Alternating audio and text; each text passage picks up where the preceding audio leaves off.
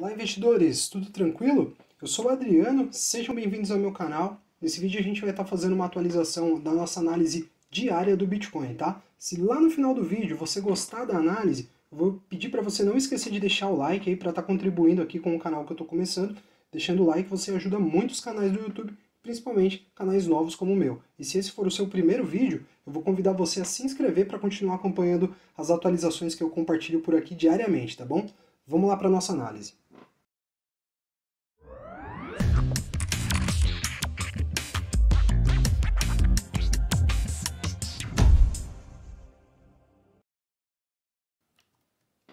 Pessoal, eu estou aqui com o Bitcoin aberto em um gráfico diário. Bitcoin hoje se valorizando 2,86%.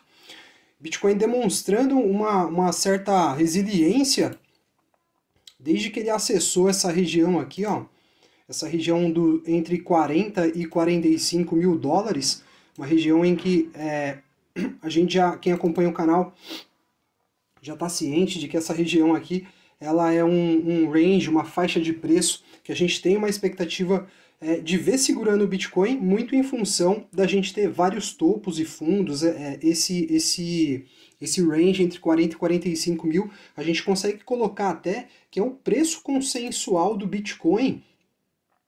Até porque no último ano a gente consegue perceber ó, que ele foi transitando, é, é, fazendo mínimas aqui em 29 mil dólares e máximas na casa lá dos 65, 69 mil dólares, mas ele sempre retornando aqui para essa linha tracejada que eu coloquei aqui no chart, que corresponde justamente com a cotação atual ali, né? Nesse range ali próximo dos, dos 43 mil dólares que ele está sendo cotado agora. Então a gente coloca, eu pelo menos é, entendo pessoal que o Bitcoin está passando por uma nova fase de acumulação, é, só em que assim em patamares muito altos, né?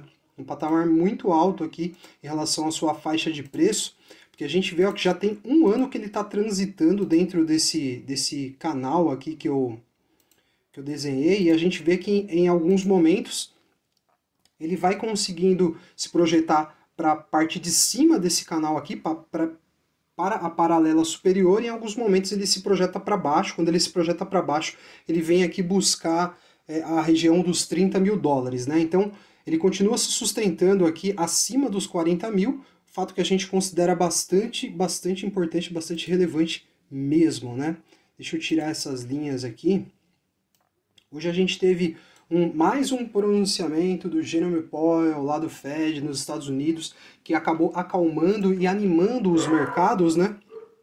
A gente viu aqui, ó, é, Ibovespa registra ganhos de 1,5% após falas de Powell, Jeremy Powell, é, presidente do, Fred, do Fed afirmou que decisão sobre, sobre redução do balanço patrimonial ainda deve demorar para acontecer. É, a gente sabe que as bolsas americanas subiram também e a gente vê um, um, um, assim, uma situação, pessoal, em que o Bitcoin ele está cada dia mais é, ligado aos movimentos do mercado tradicional, isso muito em função da institucionalização do Bitcoin. Né? Cada vez mais é, empresas, fundos investindo no Bitcoin, é, isso vai cada vez mais entrelaçar é, os movimentos aqui do Bitcoin com os movimentos lá das bolsas americanas e até mesmo da nossa bolsa aqui. Mas o fato é que essas informações que o Fed trouxe hoje animaram o mercado, deram aí um alento para o mercado.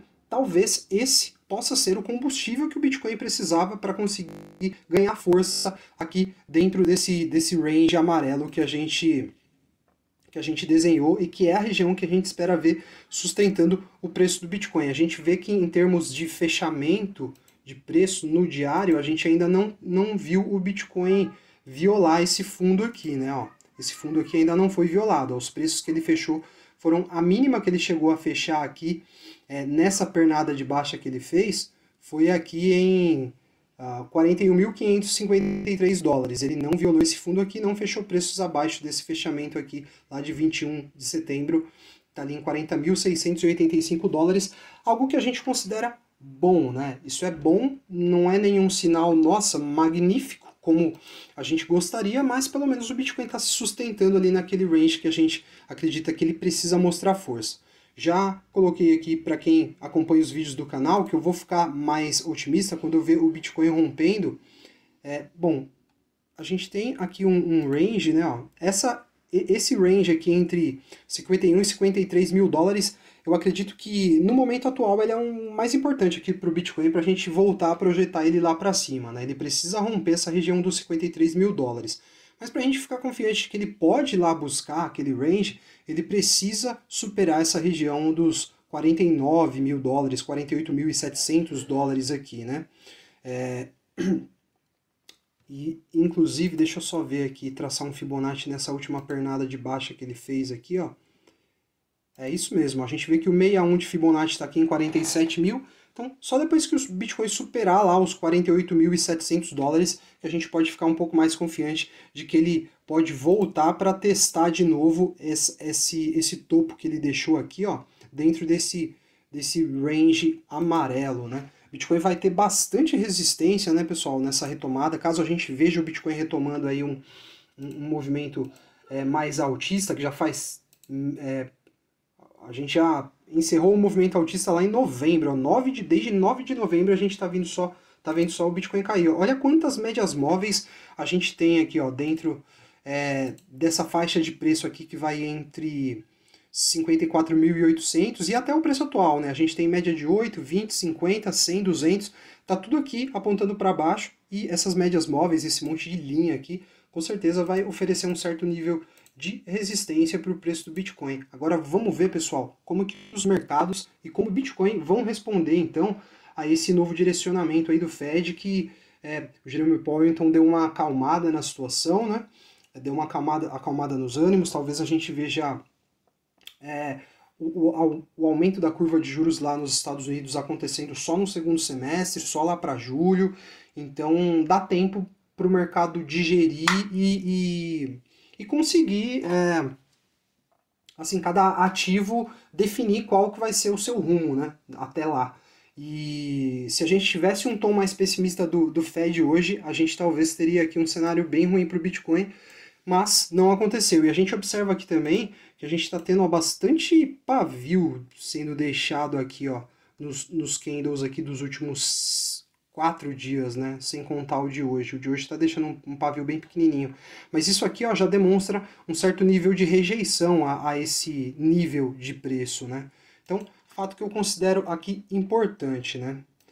É, eu vou até trazer aqui para o semanal para mostrar para vocês que, por enquanto, pessoal, a gente ainda não vê sinais claros de arrefecimento nessa, nesse ímpeto vendedor, tá vendo? Olha como o MACD continua com as linhas no semanal é, exponenciais curta e lenta incursionadas para baixo. A gente vê aqui a a gente vê aqui o histograma continua com as barrinhas é, ganhando amplitude, né? bem vermelhinhas, bem vermelhinhas, o que a gente quer ver é as barrinhas retraindo numa cor mais clarinha, assim, ó, demonstrando que no semanal o ímpeto vendedor está arrefecendo, né? Acho que aqui no, é, no Awesome Oscillator a gente tá para ter aqui a migração das barrinhas para a banda inferior aqui do, do indicador, né? Isso no semanal, você vê? Então não são sinais ainda positivos aqui pelo semanal, a gente tem que ficar bastante atento em relação a isso. Fato é que no semanal, ó lá, a gente já está deixando um candle ver, verdinho, a gente já está mostrando pavio aqui, né, ó. Deixamos pavio aqui na semana passada, estamos deixando um paviozinho aqui já nessa semana também. Então, o Bitcoin, por enquanto, se sustentando de forma guerreira ali na região dos 40 mil dólares, né. Vamos ver o que, que ele nos reserva aí para os próximos dias, então, né. Eu vou voltar a atualizar a análise é, amanhã, tá bom? Se você não for inscrito aqui, eu convido você então a se inscrever para continuar acompanhando as atualizações, beleza? Se você é novo por aqui, eu convido você. É, se, se você gostou do vídeo, eu peço que você não esqueça de deixar o like aí para você ajudar o canal que eu estou começando, tá bom? E se tiver alguma sugestão de análise ou quiser compartilhar com a gente alguma percepção sua sobre o mercado, fica à vontade, manda bala aí nos comentários. Tá bom, pessoal? Um abração e até o próximo vídeo.